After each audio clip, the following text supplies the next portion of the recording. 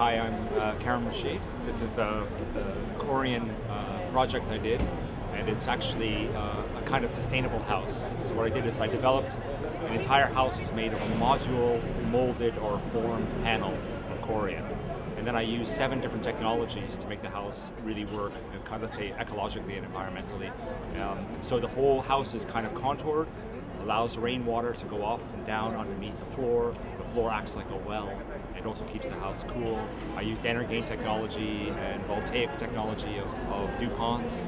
Uh, I used Tyvek. I used all their materials, including a new material for them, which is a kind of bio-Corian that they're developing, which is partly uh, biodegradable, partly recycled. Uh, so I put it all together into just kind of, let's say, uh, uh, uh, basically a module house that you could reconfigure any way you like. Anyway, at the, at the end of the day, it's kind of a, how can I say, an extension of the human body, just an amorphous, very simple modular house. Ideally should be outdoors, not inside the showroom. And the idea of the curved panel is structural, that's why it's all kind of ribbed, so it can freestand.